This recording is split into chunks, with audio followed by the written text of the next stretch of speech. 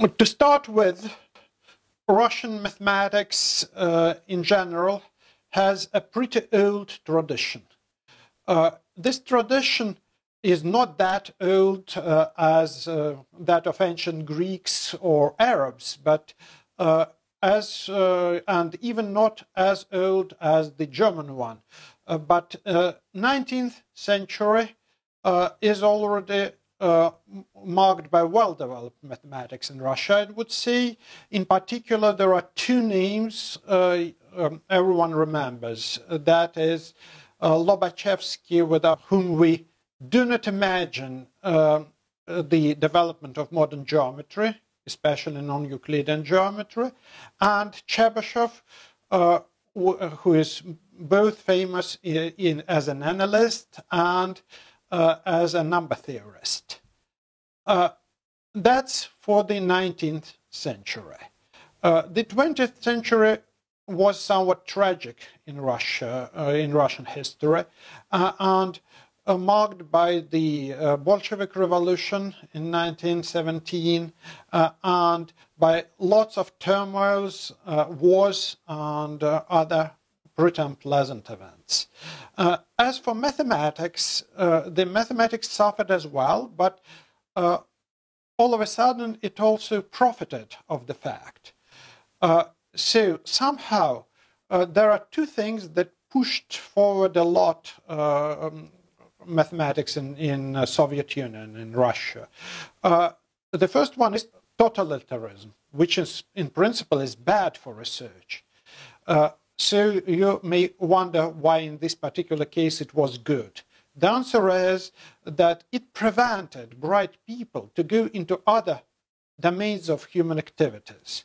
Uh, someone who was bright and decent wouldn't like very much to work mm, uh, as a lawyer in the country where there is no law, uh, or uh, uh, as uh, a politician in a country where, with no democracy.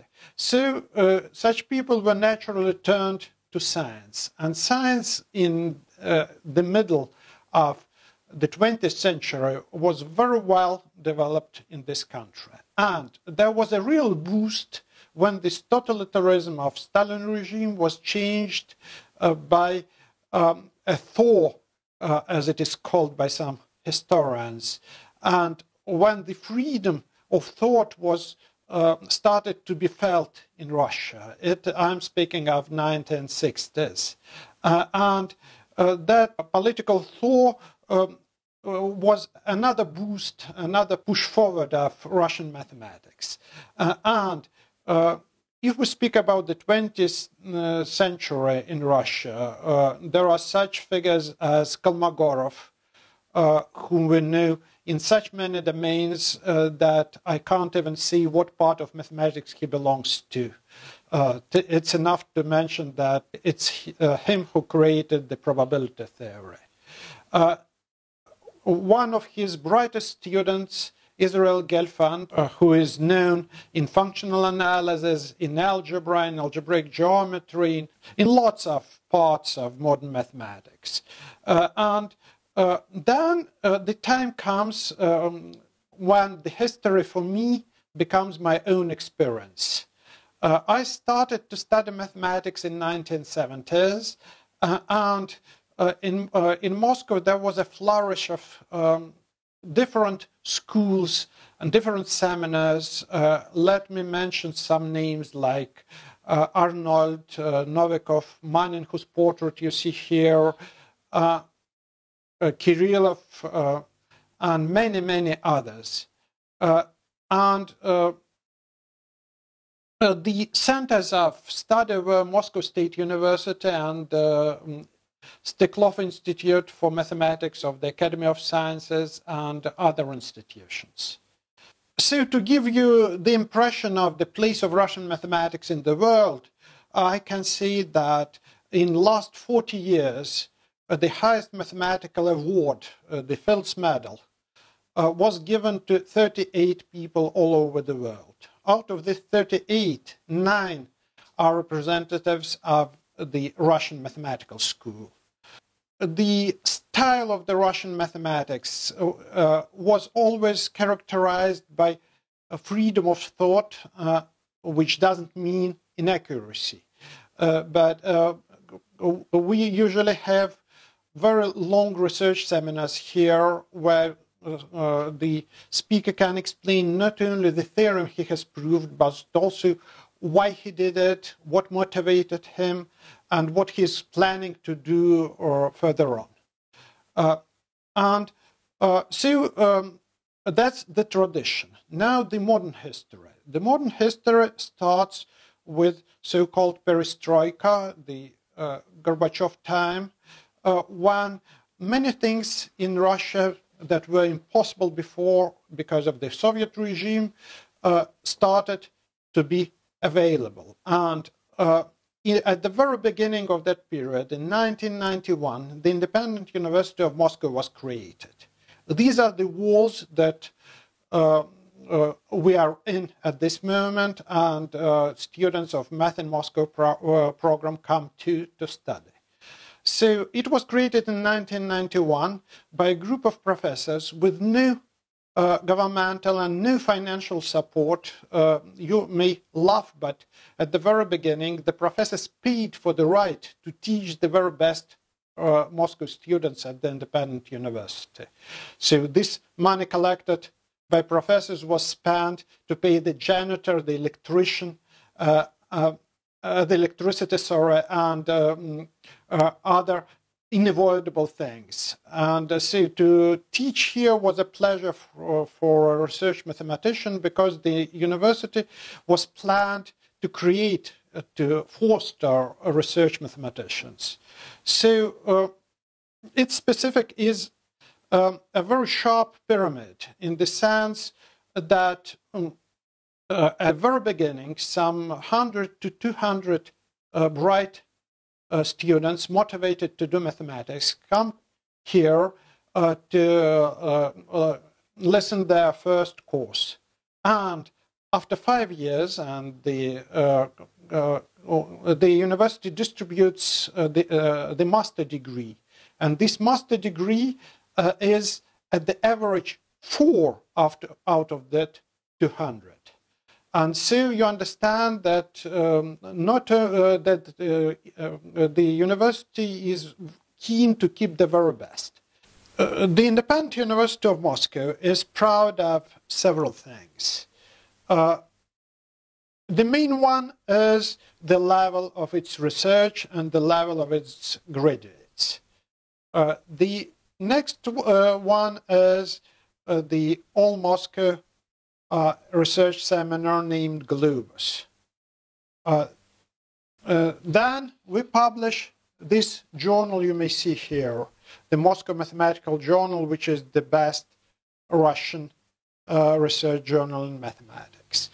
Uh, we have, and moreover, I'm sitting right now in uh, a Russian-French Poncelet laboratory an international unit of CNRS, French National Research Center. Uh, now let us pass to the uh, program you hopefully will be in, uh, the Math in Moscow program. The Math in Moscow program is created to show to you uh, what Russian mathematics is, as well as to teach you as much as we can.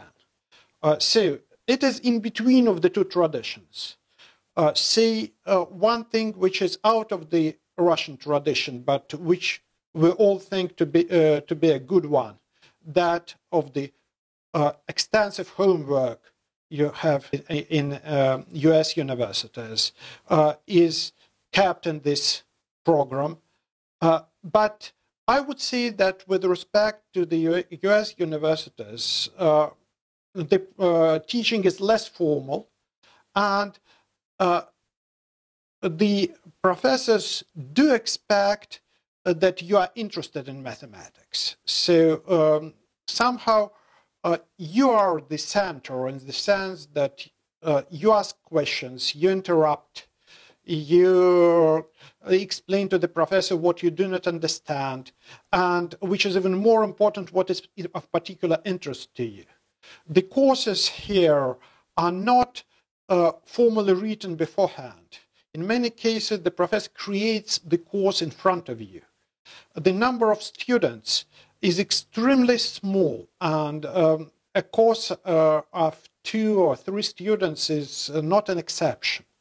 And uh, so when this program started, uh, we had just one student for the first semester. And when I asked him at the end about his impressions, the answer was, uh, I learned here in four months more than in Cornell in four years, which is no wonder because uh, a dozen of professors taught him and he was alone. Uh, now, uh, so uh, the idea would be that you open your mind to a new way of study, uh, that um, you actively work with, with a professor, uh, uh, as well as with your tutor and with the students that are near you, and uh, that you love mathematics. So the main thing here to succeed uh, in mathematics, the main thing is motivation. If you want to become a mathematician, you become one. Uh, now, uh, a girl or a boy, a student coming here, uh, may, uh, in many cases, is somewhat afraid to go so far and to study in so such a strange environment. And uh, many ask me, what are the dangers of coming to Moscow? Uh, so my uh, answer here will be uh, just very general. Uh, and uh, let me quote Alice in Wonderland, who said, or thought rather, that things happen to people all because they wouldn't remember the simple rules their friends had taught them, such as that a red hot poker will burn you if you hold it too long, and that if you cut your finger very deeply with a knife, it usually bleeds, and uh, if you drink much from a bottle marked poison, it's almost certain to disagree with you sooner or later.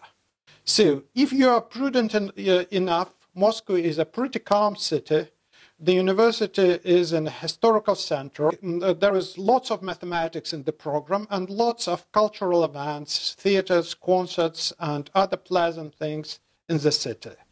Uh, so uh, come, enjoy, and become mathematicians.